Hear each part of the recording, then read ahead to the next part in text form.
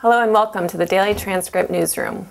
A sudden drop in claims for unemployment benefits helped push the S&P 500 index above 1,500 for the first time since December 2007. The Dow is up 31 points, and the S&P 500 is down 2 points. The Nasdaq is down 27 points. Oil climbed after reports pointed to accelerating global growth. Benchmark oil rose 1.2% to $96.35 a barrel on the New York Mercantile Exchange. In local news, restaurant awards company Mogl inked a deal to become Virgin Airlines' official dining program.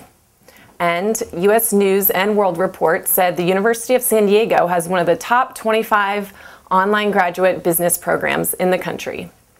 For complete coverage of these stories and more, please check back here throughout the day. I'm Tierney Plumb, and thanks for clicking.